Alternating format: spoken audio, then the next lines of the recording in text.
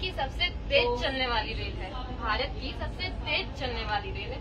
दूर दूर का सफ़र तय करना। मानो एक खेल है।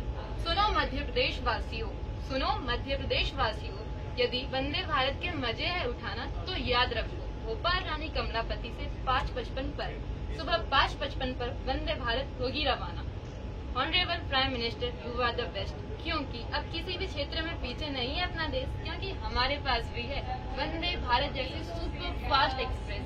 करते हैं तह दिल से हम धन्यवाद आपका जो दी आपने वंदे भारत।